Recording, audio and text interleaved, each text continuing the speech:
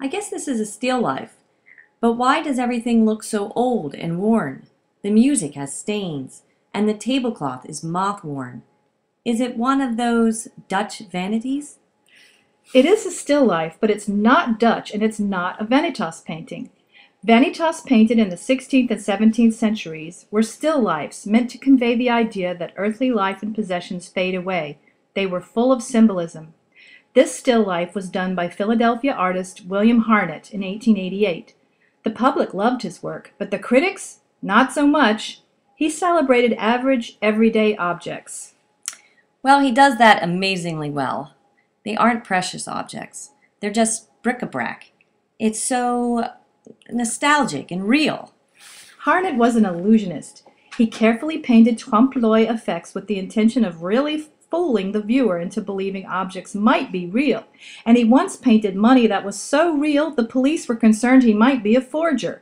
They confiscated the painting and questioned the artist. Did he also paint amazing portraits? No, Harnett never painted portraits.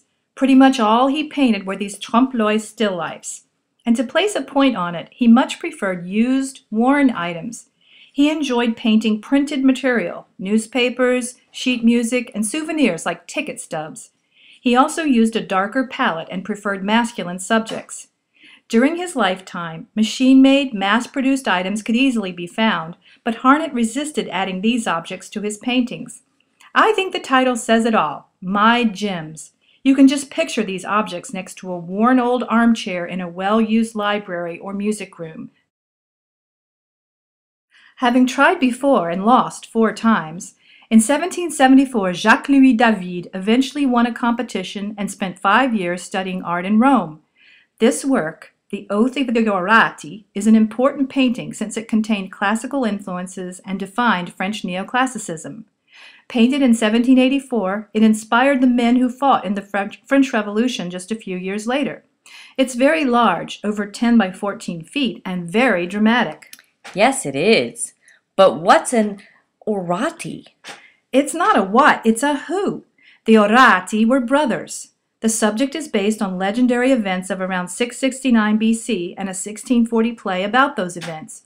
Horace is about the tragic story of two ancient families, the Horatii and the Curiatii, who were united by marriage, but who are chosen to fight each other to defend their cities. The Horatii brothers are depicted in this painting as swearing an oath to their father that they will die, if needed, to defend Rome against the neighboring city of Alba Longa. It's very formal and geometric with classical styling, very different from Rococo paintings of the time that seemed frivolous by comparison. The men appear so strong and determined, the women and children so subdued and sad. In the legend, one of these brothers is already united in marriage to the enemy, and a sister, can you guess which one, is also betrothed to one of the brothers whom the Horatii brothers are going off to fight. Her brothers must fight not only their brother-in-law but also her fiancé. They must place their love of country above family and friends.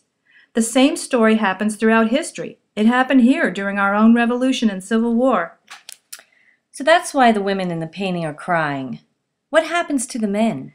These brothers fight the Curiatii. All the Curiatii brothers and two of the Horatii die, and the single returning Horatius brother receives condemnation from his sister for killing her fiancé.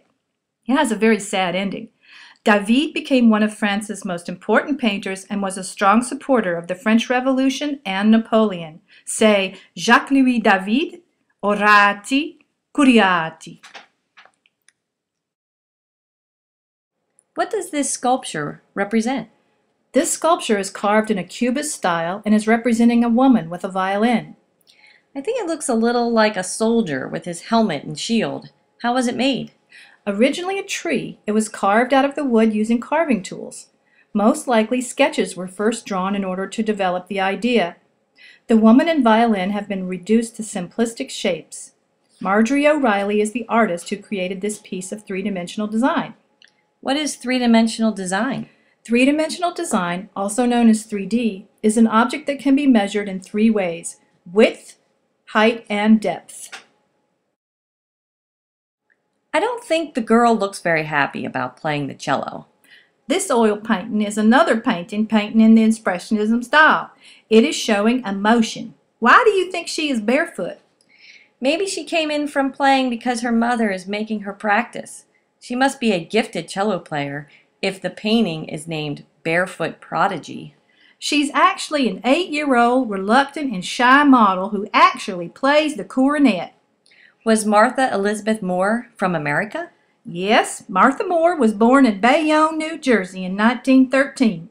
She studied at the Art Students League in New York. She exhibited with the American Watercolor Society, the Audubon Artists, the Society of Independent Artists, and numerous museum shows. She has authored two books, prize winning paintings and prize winning art.